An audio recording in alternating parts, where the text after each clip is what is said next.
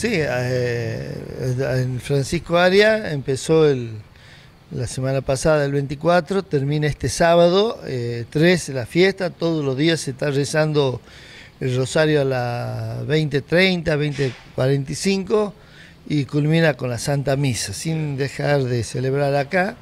Eh, hay día, hoy no, hoy no voy yo porque tengo otras actividades para hacer y mañana eh, también tengo la misa acá, pero ya damos inicio el novenario y la, con la misa, entronización y misa de la Virgen del Valle, que la empieza la fiesta, el novenario ahí en Noyero, y todos los días van a tener celebraciones y misa también, como en el Francisco Ale, que ya culminamos el 3, y algo lindo porque justamente estamos pidiéndole a la municipalidad que nos colabore con las luces, que todavía faltan unos foquitos que no han puesto, vamos a ver qué pasa porque se encaran otra cosa y no, no han terminado, así que bueno, eh, bueno, después está todo hermoso, estamos este, haciendo lo que podemos, eh, con la ayuda de la gente también.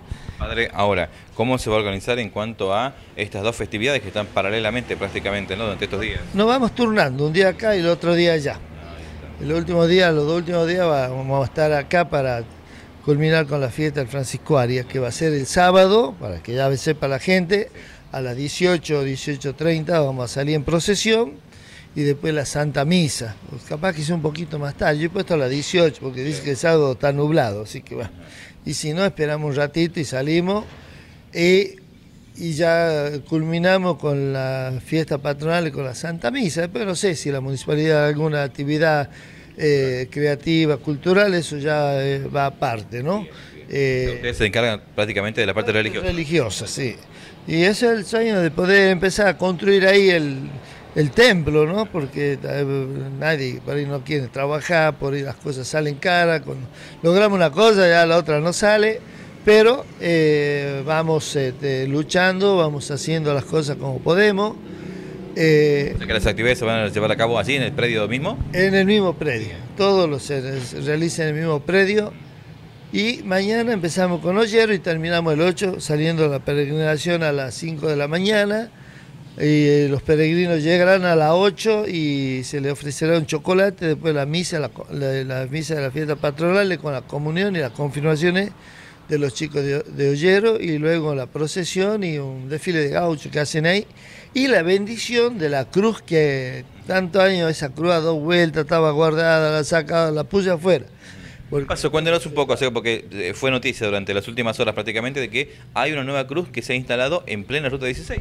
Sí, en la, en la comunidad de Ollero, ahí en el centro, por donde pasa la, la procesión, en intersección en la esquina de la capilla, ahí en el, para el lado del predio de del ferrocarril, ahí se instaló la cruz, eh, la gente del ferrocarril nos ayudó también, eh, y, los vecinos, más en iniciativa de una vecina que venía, que esto, que el otro, y nunca conseguíamos nada, bueno, se tomó los vecinos tomaron la decisión y la pusieron.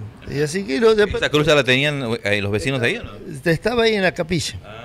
No sé si estaba, vos la vista, hace muchos años estoy en la capilla así que por fin la hemos logrado colocar. Y ¿Tuvo que hacer algunos retoques, acondicionamiento a la cruz? la, pusieron y después le pusieron, este, como estaba bien soldada, como de hierro bueno, eh, la, pintaron ayer, anteayer la pintaron, ahí se todos los vecinos a la mañana temprano, las empresas de ahí del ferrocarril, la Olmedo, los vecinos han aportado con cemento, ahora se está haciendo un jardincito también a la vuelta de la cruz para eh, para iluminarlo y todo es iniciativa de los vecinos, nada político, nada por el estilo. Sí, sí se han logrado muchas cosas y, y, yo creo que cuando un pueblo se junta y quiere algo nuevo, algo lindo, lo puede hacer, no tiene que esperar de nadie. Y esto es lo lindo, la iniciativa que tomó el pueblo de Ollero, ¿no? Le agradecemos a todos los que han colaborado porque todos han puesto un granito de arena, los vecinos, las empresas de ahí, todo, entusiasmadísima la gente con esa cruz que tanto anheló y se preguntaban qué vamos a hacer con la cruz, qué vamos a hacer con la cruz. Bueno, hoy ya está puesta, esto es lo lindo. ¿Ya está eh, colocada entonces? ¿Falta algo más? Ya está puesta, eh, pintada, ahora faltábamos viendo cómo, cómo le van a hacer la iluminación. para que se la vea cuando pase el, el, peregrino, el que venga de viaje. Está la, cruz ahí al costado de la ruta, muy linda y más iluminada, va a llamar la, atención, ¿no? Así que bueno, agradecemos a todos los vecinos, a todas las señoras, a las que realmente han, todo, han venido llorando entre lágrimas, entre insultos, cuántas cosas han, han difamado, querían que algunos que no les gusta que se hagan cosas buenas, eh, bueno, nosotros no, les llevamos la punta y seguimos trabajando. Y bueno, se logró eso y eso es lo lindo que, yo no tengo nada que ver, pero los vecinos sí, ah, hágalo, me preguntan, hágalo, si usted se lo hace. Claro, porque es un espacio público, digamos, ¿no? público, está, el que pone acá con las rutas pone más traba que el... Me parece una cosa buena que hace falta. Y, realmente todo el mundo pasa y se sorprende ahora cuando la ve y llama la atención, así que ya te voy a pasar la foto para que vos la, la pasé, vea la gente cómo está trabajando, cómo está pintando. ¿Es una cruz grande? ¿Qué, qué, cómo en altura? Altísima, más alto que esto es. Casi como 5 metros tiene la cruz. Está muy bonita.